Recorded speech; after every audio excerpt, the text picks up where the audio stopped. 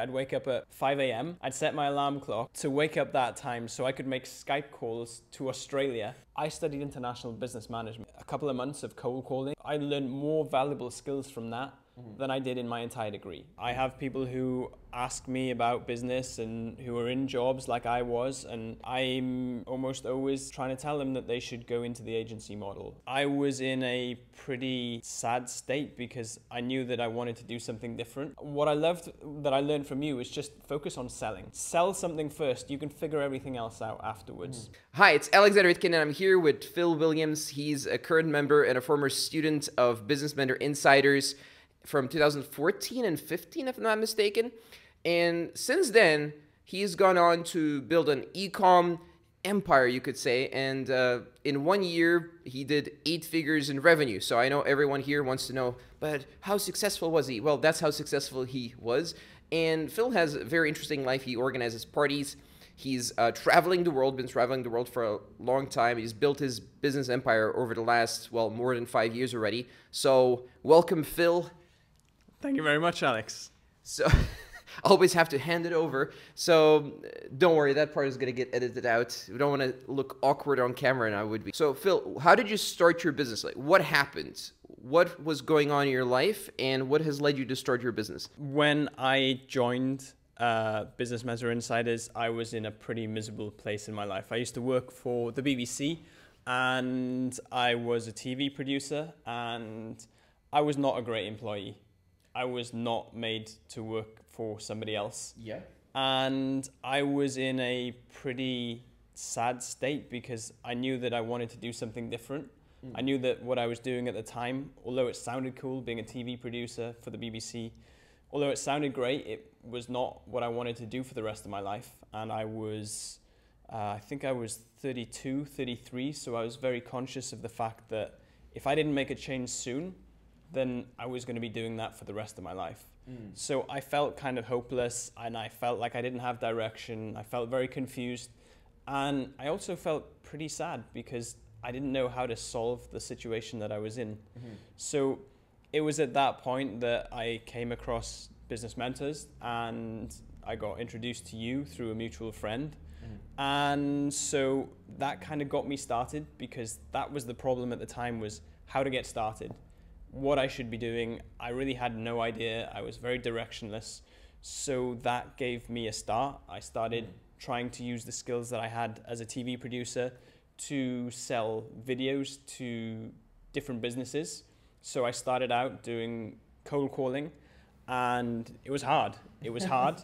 I remember, yeah. Yeah, it's not, cold calling is not fun.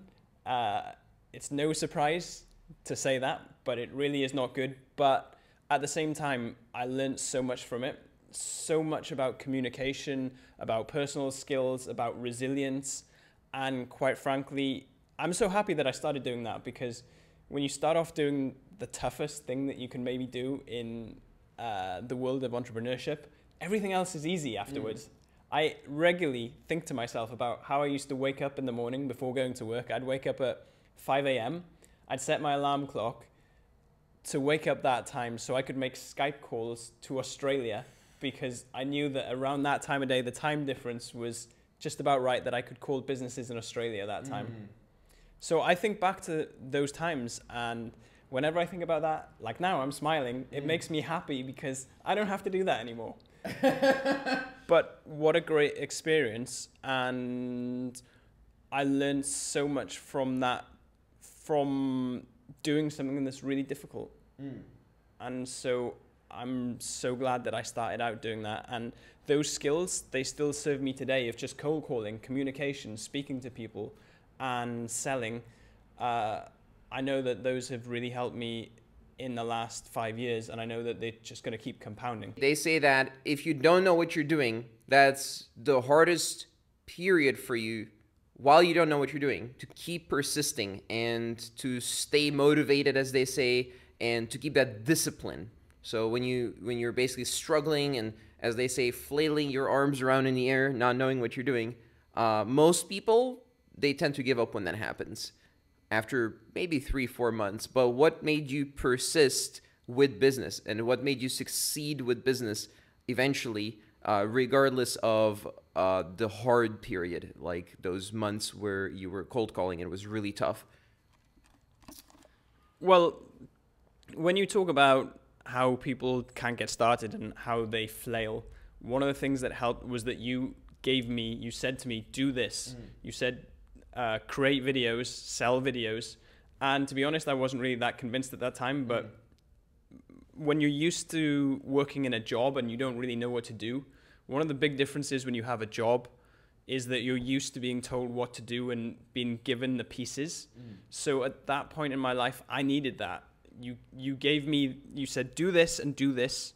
So I worked at that and it was tough. But you asked what eventually led to me making things work and I guess I guess it's um, desperation. Mm, okay. Desperation because I didn't want to keep on doing what I was doing. Again, as I said, I was 32, 33 years old, and I was very cognizant of the reality that if I didn't make a change soon, that I was going to be doing that for the rest of my life. So I kind of think of myself like that scene in Indiana Jones, mm. where he jumps through the the doorway that's coming down, sliding down, and he grabs his hat. Yeah. I kind of think that I was a little bit like that when it came to getting out of being an employee. I just made it under that door. I grabbed my hat on the way out because a few more years and I would have been I would have been doing that for the rest of my life. Hmm. So I really wanted to make it work and I'd spent a lot of years thinking about it and I'd tried various things but I just really knew that something in my life had to change. So that was what kept me going. It wasn't inspiration, it wasn't motivation, mm. it wasn't even belief. It was just not having a choice. So eventually you got into e-commerce and then ever since then your business has been growing. But what people probably don't realize is how incredibly hard it was starting with e-commerce, right?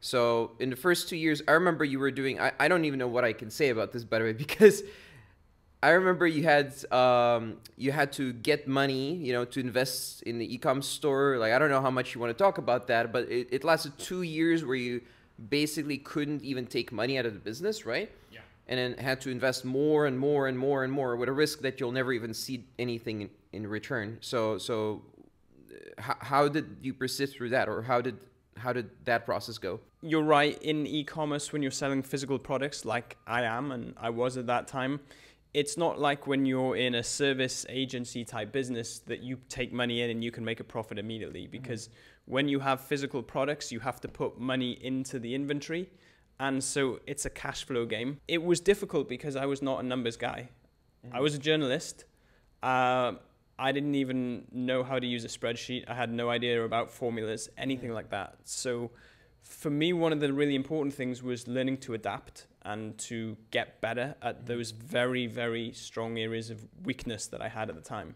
Mm-hmm. And I remember I had a Spanish teacher in Guatemala many years ago, and she told me this Spanish saying. She said that she had been very weak at grammar, teaching uh, Spanish. Mm-hmm. So she said her mother, a grandmother, said to her, "Ponlo debajo de brazo," which means put it under your arm. Yeah. So I often remember that she said that she took that approach to learning grammar and she studied it and she put it under a microscope. She really focused on it until in the end she said that grammar was one of her most strong points as a teacher. So I think of that when I see something that I'm weak at. And I was very, very weak at running a business. I was very weak at numbers. I was very weak at data. I was very weak at all of these kind of things. And I was, to be honest, I was incredibly lucky. Mm-hmm. I was incredibly lucky that I got through with the amount of skill that I had at the time because I had very little idea about managing cash flow. I didn't know what a P&L was. I didn't know what a profit and loss statement was, a balance sheet. I didn't know any of that stuff. Mm. So a lot of it was luck. Um, some of it, I would say, was also randomness. It was being in the right place at the right time and being able to get through it unscathed. Mm-hmm. But one of the things that really helped me was reinvesting the money that I made back into learning and growing mm. and getting better. But you're right, it was it was difficult to do and it took a lot of delayed gratification to not you turn over a lot of money and maybe you're making some money, but that money had to go back in, go back in. And I'm very glad I took that approach. I had one Christmas in particular where I put a lot of money down. It was a huge amount of money to me um, for stock for Christmas time. And I was very scared. I spent months being very worried about that, trying to figure out how I was going to pay it all. I had to borrow money from my parents. Mm. And it was a very, very scary time and I remember one weekend I thought it was in it was in November, and it was one of the big weekends. It was Black Friday, and Black Friday didn't go the way that I'd hoped. Ooh, okay. So I had a big deal, and it didn't sell so well. And I remember sleeping, not being able to sleep that weekend, thinking like, "What's going to happen now? I owe money to my parents. I." Um, I'm not going to be able to sell this stock. I'm going to have to go and get a job. And I spent the whole weekend worrying about it. Mm. And then on Monday, I had another deal and I managed to get uh, move a lot of stock. And from then on, my Q4, my, my Christmas period went really well. And that investment, that risk that I took paid off hugely because the business grew, it went to another level. I made profits and then was able to invest more. And I was, I was very fortunate. Mm. So it's a, it's a mixture of luck and fortune and um, crossing your fingers and just trying your best. So, if I'm not mistaken, that was about three and a half years ago, this exact moment, right? Uh, 2016, late 2016. Q4. Yeah. So, how has it been going since then? So, you basically had a breakthrough Q4 2016. Yeah. And then it was maybe the first real profit at that point, if I'm not mistaken or, or did you reinvest all the money again into the business even then or, or what happened sin- between then and now actually well there was a lot of growth but one of the things that happens in all businesses is that you grow and especially when you have no business experience i had no business experience whatsoever mm. is you create a mess so as we grew um, we didn't have any systems in place, we didn't have any kind of organization, and we didn't have re- reliable financials, nothing like that. Mm-hmm. So it was a it was a period of growth followed by a period of basically trying to get our act together. Mm-hmm. So I was very fortunate. I made some very good hires and brought in some very good people who helped to organize things and put things in place and make the business way more robust. And also, I learned a lot in the process because, as I said, I was flying by the seat of my pants. I had no experience, I didn't know what I was doing. I was turning over a considerable amount of money, but I knew nothing about keeping it. I knew nothing about cash flow. I knew no, I had no idea if I was making a profit. All I knew was that I was taking out a minimal amount of money to to keep me going. But other than that, I didn't really know a whole lot. I didn't I wasn't too sure whether I'd be able to pay my suppliers. Mm. I had no idea about profit margins, anything like that. So that period from leveling up at that Q4 afterwards was all about learning about business, learning the business fundamentals. Mm. And I think that's that's the thing that was the most important. That's the thing that I needed to learn at that time because I was just so weak operationally. What what is life like now? Because I think since then things have progressed quite a bit it's been it's been many years so what what is it like now running your business and what does your life look like now my life now um, i realized the other day that i should stop calling what i do work mm. Because work suggests that you have to do it and i realized the other day i had a saturday where i didn't need to do anything but i just went down to a coffee shop i went with my laptop I put some music on and I just started brainstorming, thinking of ideas. And I realized this is what I love. Mm. This is what I love. And I don't ever want to stop. And I don't see a time when I won't be working in this kind of thing. My day to day is um, morning routine and working in the morning, going to the gym, getting something good for lunch. Uh, oftentimes, I'll have meetings in the afternoons and I try and get a good night's sleep. Mm-hmm.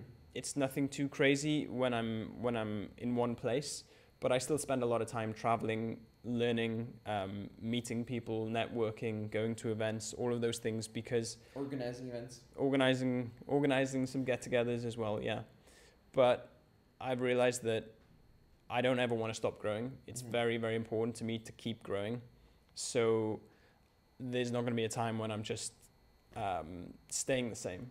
I'm going to be in growing, investing, learning more, and going to new levels. I have new projects that I'm working on now, which I love, and they're going to be new challenges for me, new things that I'm going to learn, and it makes me excited. It really Mhm. makes me excited, and it's great going into new projects with a little bit of experience, Mm-hmm. a little bit of experience with a team, with knowledge, and um, being able to put what you've learned in the past into into action. Would you still recommend that people get into the agency business model? And if so, what are some transferable skills that you've gotten from the agency to what you're doing now? Do I would I recommend people go into the agency model? Uh, not only would I, I do. I have people who ask me about business and who are in jobs like I was, and I'm almost always trying to tell them that they should go into the agency model. Why? Because you don't need a lot of money to do it. You don't need a lot of time to do it. You don't need a lot of anything to do it. You can do it in your spare time, like I did, in your holidays, on your weekends, in your mornings, in your evenings. And I think that the main thing a lot of the time is just to get started. So that was the great thing that when I came to you, you gave me um, you gave me the thing that I should be selling, and you said just go make phone calls. And what I loved about that, the the biggest transferable skill from that was just to get started, to not worry about the details and to think about things like accounting and bank accounts and mm-hmm. building your own website. I hear that from people all the time. They focus on the wrong things. What I loved that I learned from you is just focus on selling. Sell something first, you can figure everything else out afterwards. Mm. Focus on the most important things. So that was a massively transferable skill and it still serves me to this day because I don't think that I move very fast. I think that I'm slow. I think that I'm really, really slow. I'm working on new projects right now. I'm frustrated. I think that I'm glacial. Mm-hmm. But other people who see me say that I move quickly. I, I don't agree with them. I, I'm saying this right now, I feel like a fraud, mm-hmm. but I feel like I move very slowly. I just want to move faster, faster. And I think that a lot of that comes down to the mindset that when I started out, that you taught, is to just get something out there, get moving. Mm. That's how I started in e-commerce because I didn't start out with an elaborate product. I started out with the most basic, um, least fancy product that I possibly could. I just got it online. I just got it selling, and then I brown box. a brown box. Yeah, nothing fancy. I just got it selling, and when that worked, I spent more time and more money into improving it afterwards. But when it comes to transferable skills, I think it's pretty hard to launch any business and not have transferable skills. Like I studied international business management for my mm. degree, and I learned more in a couple of months of cold calling and selling videos than I did. I learned more valuable skills from that mm-hmm. than I did in my entire degree. That's for sure. So any business that you start, it's impossible not to start it and not to pick up transferable skills. Mm-hmm. So agency model, yeah, I, I wish that friends of mine would listen to me more when I say just get going, just sell a product, just sell a service, because at the end of the day, it's getting started, it's getting experience, it's building. Those are the most important things. So absolutely, I think that I think that people should go ahead with that. Okay, well, that's pretty much a perfect ending to the story here. So, Phil doesn't really want you to follow him on social media because he's not really on social media, right, Phil? Um, but thank you very much for coming over and sharing what you did share. Uh, very good, very valuable. This is a successful business owner who really made it, and he did it the right way, and that's why he's so successful. Uh, you can check out more interviews like this on businessmentor.com, or you can apply to work with me directly to learn how to build an agency business. I don't teach e-commerce, by the way.